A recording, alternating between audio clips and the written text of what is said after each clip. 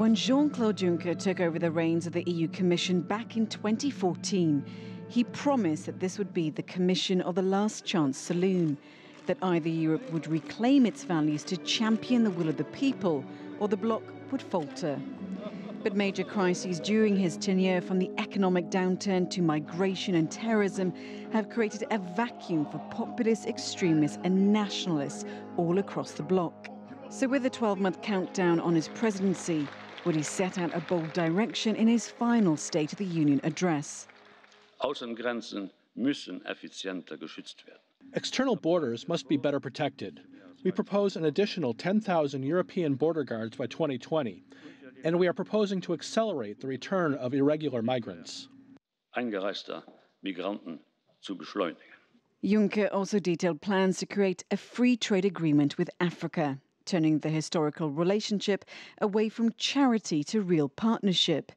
And then on Brexit, he offered some support to embattled UK Prime Minister Theresa May.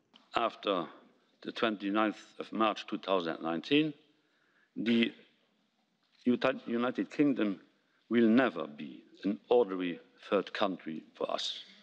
The United Kingdom will always be a very close neighbor and partner in political, economic, and security terms. But was this the mm. speech MEPs had um, come to hear? My God, we are living in two different worlds. I, I find it so terrifying that somebody gives us here lessons about unity in Europe and then trying with his government to do against the rule of law as he has forgotten what Europe was between the two world wars. One stark victory Juncker left off the table.